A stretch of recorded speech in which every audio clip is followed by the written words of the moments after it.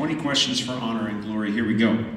This movie star broke into the big time playing a little girl vampire in 1994's Interview with a Vampire.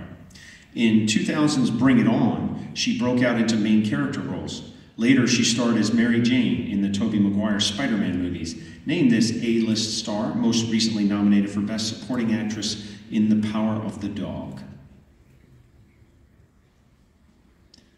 Kirsten Dunst. Question two. I'm looking for the name of Fred Flintstone's hometown. TJ. Bedrock. Bedrock, there you. Question number three. What recent president has the nicknames the Peanut Farmer and Jimmy? TJ. Carter. Carter, that's right. Tua Tagovailoa, yeah, I messed it up, is the quarterback for this AFC. Stockton.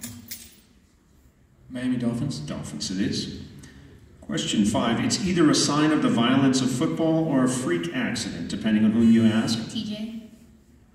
Hamlin. Hamlin, yes. Poor Damar Hamlin. Wish him well. Question number six. Alaska is the least densely populated state in the U.S. Which state is second with fewest people per area? TJ. Wyoming. Wyoming. Well done. Question number seven. What series of children's novels begins with the admonition if you are interested in stories with happy endings, you'd be better off? Series of unfortunate events. Well done, yes. Question number eight. This famous sculpture features a nude man sitting with his chin in his hand. Frederick. The thinker. The thinker is right. Question number nine. When I was a kid, I wanted to grow up to be this kind of scientist. Scientists who study fossil plants and animals. Stockton. Paleontologist. Paleontologist because of the dinosaurs, totally. Question number 10. What Shoshone woman explored alongside Lewis? TJ. Sacagawea. Sacagawea, that's right. Question 11. Who wrote George Bede, The Mill on the Floss, and Middlemarch? George Eliot. Number 12. What is the name of the NHL team that plays out of Carolina? Frederick.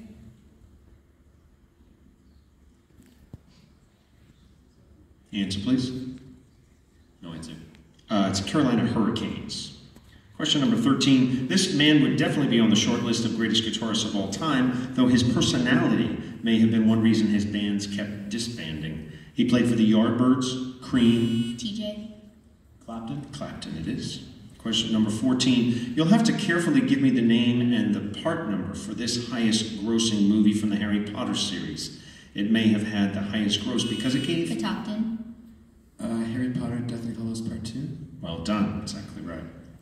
Question 15. You have to admire doggedness. At what point, though, does a quest become quixotic?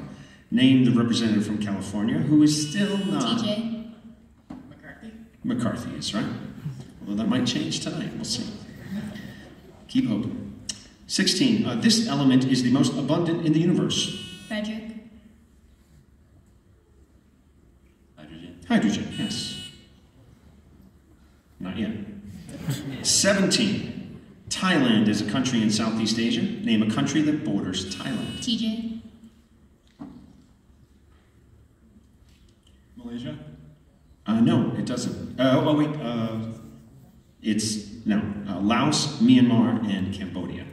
Sorry. Uh, Myanmar has Burma as well. Uh, 18. The Europeans have fought many multiple country wars. Which war saw France, the United Kingdom, and the Ottoman Empire defeat Russia? TJ. Crimean War. Crimean War is right.